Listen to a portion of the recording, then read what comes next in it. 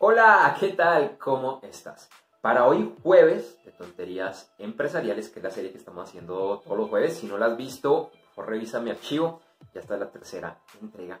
Estoy trayendo un tema que para mí es clave desde el punto de vista de inteligencia empresarial y que es una de las bobadas, de las tonterías más grandes que están haciendo muchas empresas. Y tiene que ver con la automatización en el servicio al cliente. Ahora, de pronto tú dices, pero pues una automatización en el tema de servicio al cliente puede ser muy interesante. Yo te diría, sí, puede ser muy interesante, claro.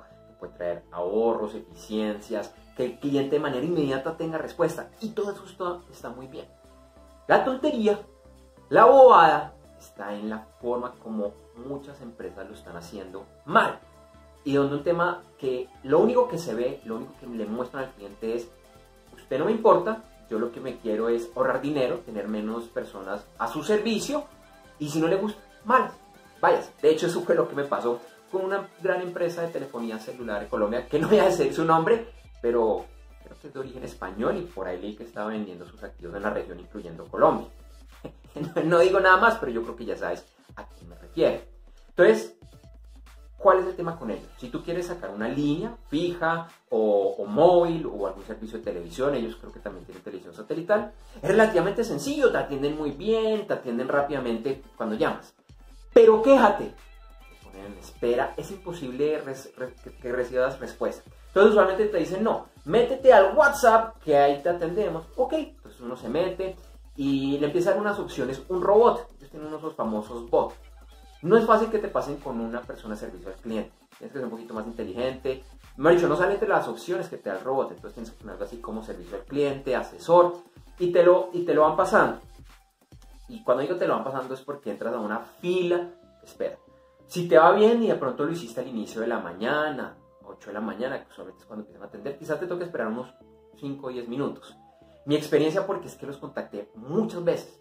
Tuve solo un año con ellos y los contacté muchas veces porque así de malo era su servicio al cliente.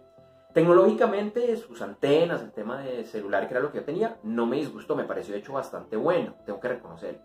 Pero tuve muchos problemas con la facturación, con ofertas que tenía, con, con el paquete en sí. Entonces, la mayoría de veces me toca esperar 15, 20 minutos. Más de una vez me tocó esperar más de una hora. Y primera pendejada, entonces ellos te escribían algo y esperabas que tú contestaras en uno, máximo dos minutos. Ya, pero esto es ilógico. Si me hacen esperar 10 minutos, digamos, ¿por qué ustedes me están presionando para que yo responda en uno o dos minutos? De pronto yo estoy haciendo otras cosas. Entonces, no es muy lógico desde, desde ese punto de vista.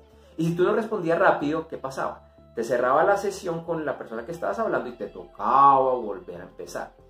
En más de una oportunidad me sucedió que yo estaba escribiendo eh, respondí y de pronto la otra persona, el que me estaba atendiendo, respondía y sin saberlo, sin, no dicho, sin ni siquiera haber pasado 10-15 segundos, me cerraba la sesión. Entonces, vuelva a empezar. Entonces, esto es algo muy tonto. Nuevamente, señores de esta empresa española, yo sé lo que ustedes quieren ahorrar plata y sé lo que yo significo para ustedes. Por eso decidí, bueno, afortunadamente en Colombia y creo que en la mayoría de países ya uno puede portar el número, y me pasé a otra empresa otra empresa que algún día te contaré. Tuve también muchos problemas con ellos, pero reconozco que han cambiado y que han cambiado para bien. Una empresa mexicana, esto no lo hubiera dicho de pronto hace dos años, y no son perfectos, todavía tienen muchos problemas, empezando por el servicio al cliente, pero reconozco que han mejorado. Nos vemos mañana con algo interesante para que reflexiones este fin de semana. Chao.